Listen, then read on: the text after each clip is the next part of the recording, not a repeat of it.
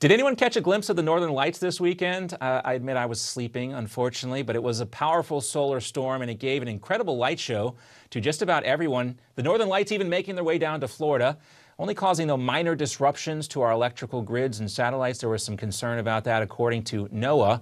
Another weaker solar storm is expected to hit this weekend as well. So could we see more of these crazy lights? Let's check in now with meteorologist Amy Metz, who has more from Atlanta. So, Amy, quite a show. I, I'm sad to say I missed it. Will I have another chance this weekend?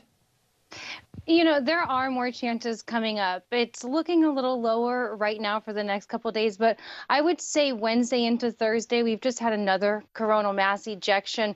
And so it, it's unfortunate we don't have a good lead time as space weather scientists as to whether or not we're going to get aurora from our coronal mass ejections.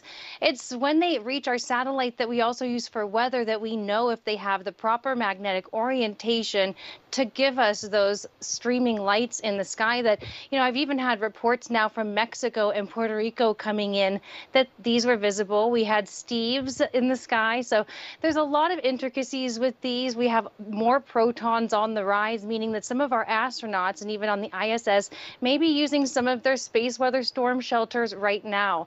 So in the coming days and the coming weeks, we still have a lot of active sunspots like we see right now.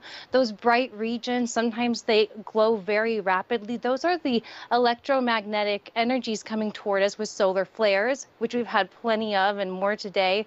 And oftentimes with that, they also release magnetic plasma from the coronal mass ejection. So if they're facing us, you can even see that satellite rocking around there because it got impacted by that stream of the solar wind shock wave all of these different kinds of space weather events give us these beautiful bright lights. Uh, not every kind will spark aurora, but they do impact us in different ways that scientists are still discovering. And luckily, next month, I'm hoping to share more with you about a new satellite that we're going to be launching called GOES-U from the United States. And with that, we'll get more space weather details. I'm hoping a better lead time on whether or not aurora is really forecast. Back to you, John.